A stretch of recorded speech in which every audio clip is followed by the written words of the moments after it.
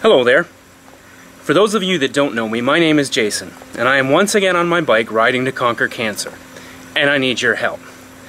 Thanks in advance for spending a few minutes to listen to my story. Why do I ride? Specifically, why do I keep riding in the Ride to Conquer Cancer fundraising events? Simply put, because we haven't finished what we started. In the early spring of 2008, the team at Princess Margaret Cancer Foundation made it a goal to conquer cancer in our lifetime. They've made incredible progress towards that goal, but they aren't there yet, and so I keep riding. This event means a lot to me. When they announced the first ever Ride to Conquer Cancer, I was, plain and simple, fat. I played hockey once a week in the winter, but I was nearly 230 pounds, and I spent most evenings year round plunked on a couch eating junk food. My doctor was strongly encouraging me to get my weight under control, and I was showing signs of blood pressure and cholesterol issues. I needed to get active. At the same time, my dad had just recently recovered from prostate cancer, and so the idea of using a cancer fundraiser to get active and hopefully raise some money for the cancer fight was compelling to me. I had many friends and family members who had been affected by cancer, but none as close to me as my dad. So I signed up for the two day, 200 kilometer ride, hoping to help the cause and at the same time get in shape. I learned during that June weekend in 2008 that I was a lot more emotionally involved in this fight than I had ever given thought to.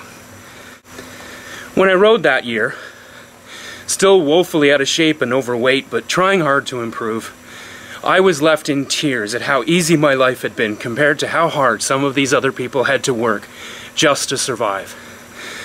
I was riding with and beside people who had undergone chemotherapy, even some who were still in treatment for cancer while trying to complete the same ride I was. At camp that first year, after we had finished dinner, they announced that the last rider had finally finished, and they called her up on stage. It took her a while to get there because she only had one leg, having lost the other one to childhood cancer. And still, and still she rode for more than 13 hours to finish the 100 kilometer ride that first day. There wasn't a dry eye in camp that night, and I still get goosebumps thinking about it. That first ride to conquer cancer weekend changed my life. I realized how important it was to me that my kids never have to worry about cancer. Ever. I've ridden in six rides to conquer cancer, five times here in Toronto and one in Calgary. Each one has been amazing and another reminder of how important it is to beat this disease. The 2012 Ride to Conquer Cancer was another amazing experience for me as I was able to share my love of cycling and my sense of purpose with my 15 year old son Alex as he joined me on the ride. Crossing the finish line while holding his hand was a moment I'll never forget. Sadly, in the past year, I've lost another family member to cancer, and I'm dedicating this year's ride to my Uncle Rick, who died from the effects of lung cancer earlier this year, missing out on years of his life because of this awful disease. Over the five years this event has been held, we've helped raise nearly $100 million for the Princess Margaret Cancer Foundation. Let me have a moment more to talk about where all this money goes. The Princess Margaret Cancer Foundation is Canada's largest research centre devoted to cancer treatment, research, and education. They are making real progress in solving the cancer enigma. 25 years ago, 90% of sarcoma patients died within two years. Today, 75% of those patients are fully cured. The Princess Margaret is leading cutting edge research into personalized cancer treatment to help cure the remaining 25%. The funds donated go directly to the researchers and treatment teams to help cure cancer patients today.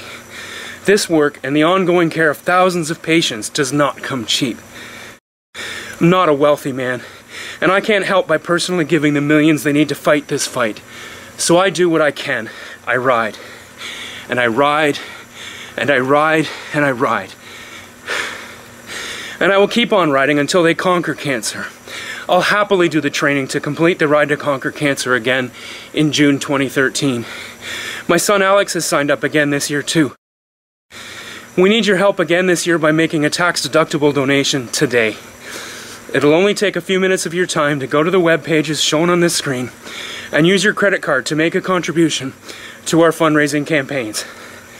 The money you contribute goes immediately to the foundation to help them beat this horrible disease.